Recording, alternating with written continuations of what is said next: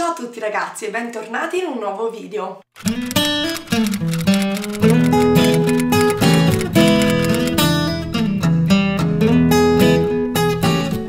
Oggi torna la rubrica sul club del libro, quello che organizzo tutti i mesi eh, insieme a diverse altre persone che amano la lettura quanto l'amo io. Se non sapete di cosa sto parlando vi lascio qui il link eh, dove potete trovare il primo video che ho fatto su questo argomento dove vi spiego in pratica in che cosa consiste il club del libro, come lo organizzo e eh, come scegliamo tutti i mesi la lettura da fare insieme. Durante questo video vi parlerò di come è andata la riunione e di quali sono state le opinioni espresse in merito ai due titoli eh, che vi avevo detto appunto nello scorso video e che eh, abbiamo letto durante questo mese. Ovviamente alla fine del video dirò anche quali sono i titoli che avevo scelto e la tematica che avevo scelto per eh, il mese che verrà, quindi per novembre eh, e voi siete invitati se avete voglia a leggere i titoli che abbiamo scelto per poi poterne parlare insieme proprio sotto a questi video. Bene, io direi di cominciare subito. Allora, la serata del Club del Libro di ottobre si è svolta proprio pochi giorni fa e eh, non abbiamo potuto farla nella sala dove la facciamo di solito, quindi ci siamo dovuti spostare, dato che era occupata, eh, in casa de della mia mamma, perché eh, per fortuna ha un, un grande salotto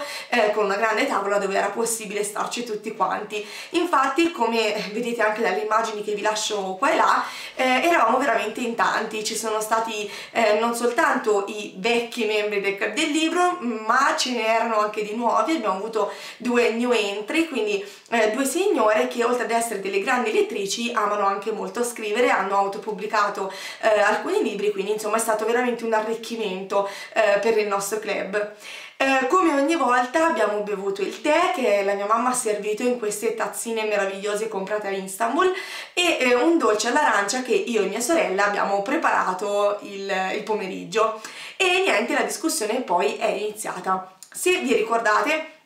il tema dello scorso mese era quello di eh, leggere libri che avessero, fossero stati molto pubblicizzati dalle varie case editrici che avevano mandato tante copie in giro ai vari booktuber in modo che insomma facessero pubblicità. La domanda era proviamo a leggere eh, due di questi libri e capire se la pubblicità che ha fatto la casa editrice era, eh, meritava ecco oppure no e vediamo come, quale sarà la risposta. I due titoli selezionati lo scorso mese, se vi ricordate, erano Vox e Come fermare il tempo. Io ho letto Come fermare il tempo, quindi eh, di Vox vi parlerò ovviamente tramite le parole eh, degli altri membri, membri del club.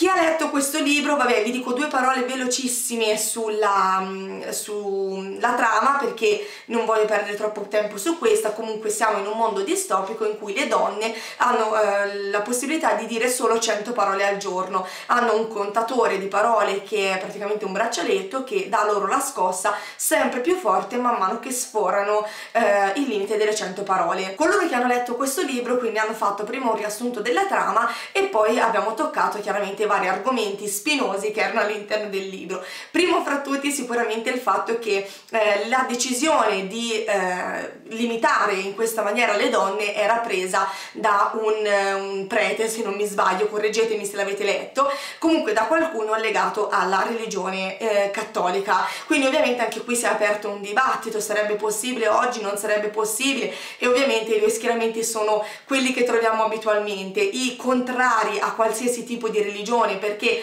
eh, vengono viste tutte in maniera troppo ehm, costrittiva, troppo eh, diciamo limitativa delle nostre libertà individuali e soprattutto eh, non all'avanguardia per quanto riguarda il modo in cui vengono trattate le donne e coloro che invece essendo religiosi eh, difendono la propria fede dicendo che una realtà come era quella descritta nel libro eh, non è assolutamente quella che viene predicata oggi. Eh, sta a voi capire da quale parte io stessi, se mi conoscete lo sapete. Coloro che hanno letto il libro poi ovviamente hanno parlato anche di quanto comunque le tematiche affrontate fossero importanti e fossero state trattate bene, quindi ehm, l'ansia provata anche loro quando le donne dovevano rimanere entro questo limite assurdo delle 100 parole e il loro sollievo nello scoprire che non, non muore mai in realtà una fetta della popolazione che considera aberrante, che considera ehm, totalmente assurda una legge del genere, che lotta perché eh, non soltanto tanto venga abolita ma perché anche non ritorni mai più. Eh, poi sono stati sottolineati ovviamente anche i difetti perché mh, mm, quasi nessun libro è perfetto, no? E quindi è stato detto in realtà che in alcune parti il libro è abbastanza noioso, quindi ci sono state delle parti piuttosto lente e in più ci sono stati alcuni episodi eh, che erano superflui, sono stati considerati superflui, o, o meglio, c'erano delle parti in cui hanno detto ma perché ha voluto inserire questa scena, qual è il significato, eh, a volte ecco addirittura diventavano quasi incomprensibili. Ovviamente eh, anche in questo caso chiedo a voi se l'avete letto di darmi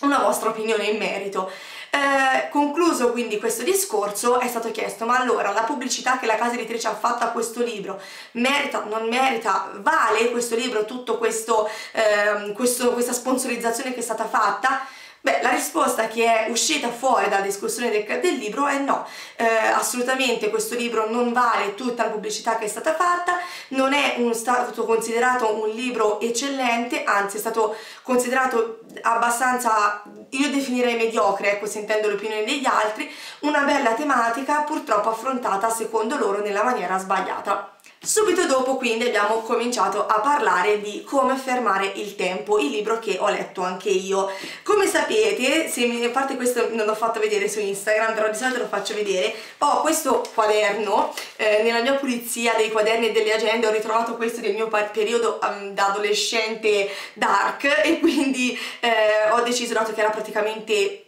nuovo, ho deciso di usarlo proprio per il del libro e mi sono presa un po' di appunti, cioè giusto un po' eh, sul, sul, libro appunto come fermare il tempo e me li sono presi qui in modo da potermi ricordare i lati positivi e negativi che volevo sottolineare. Questo libro è stato letto dalla maggior parte di noi quindi eh, la discussione è durata un po' più a lungo. Eh,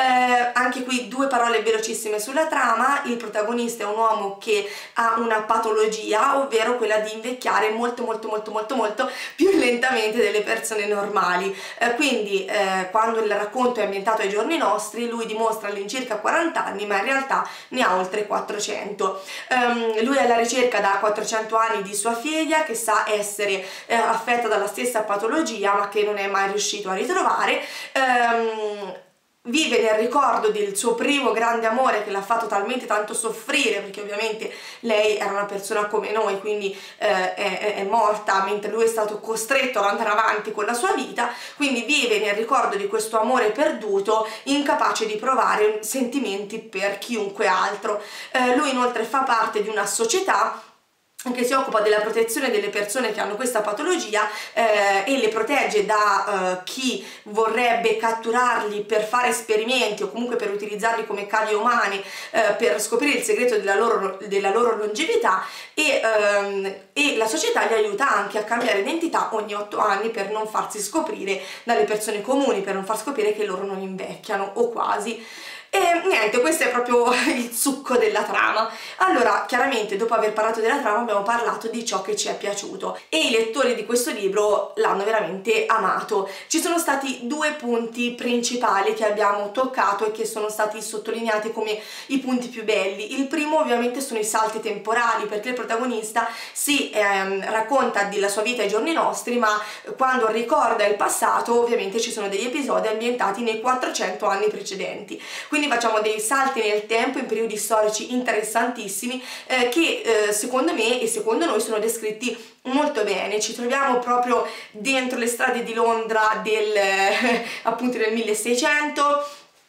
o eh, nelle esplorazioni alla scoperta del mondo, insomma ci sono eh, vari episodi che sono stati descritti nella maniera giusta, non sono pesanti, eh, anzi sono molto accattivanti e fanno scorrere la lettura mh, mm, ancora più velocemente. Il secondo punto principale e eh, da elogiare all'interno di questo libro è sicuramente la descrizione del tempo, o meglio la eh, descrizione del rapporto con il tempo che ha il protagonista ma che noi stessi abbiamo infatti eh, molto spesso ci troviamo a riflettere sulla nostra condizione, quindi il eh, vivere ancorati al passato oppure il vivere perennemente proiettati verso il futuro, spaventati dal futuro, la difficoltà di viverci e di goderci il presente eh,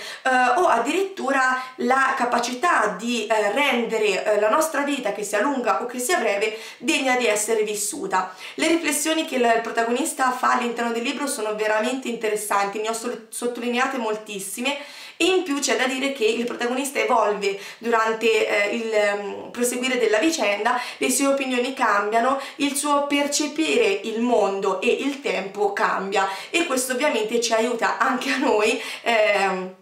a cambiare la nostra opinione o meglio ad evolverla per cercare di comprendere il tempo che sembra eh, un'entità eh, difficile ecco, da capire. Per questo insomma il libro è generalmente piaciuto molto, eh, in particolare a me per, per, esempio uno dei punti che, che sono piaciuti di più è stato eh, il capire eh, il punto di vista di lui quando lui si sente condannato, quando sente di avere sulle spalle un peso che è questa vita lunga, nonostante molti di noi ambirebbero a vivere molti più anni di quanto la natura ci concede, lui ci fa vedere anche i lati negativi di questa vita eh, enormemente lunga, soprattutto dell'essere uno dei pochi ad avere questa possibilità e eh, comprendiamo il suo punto di vista e, ehm, e questo chiaramente ci fa provare empatia per il protagonista.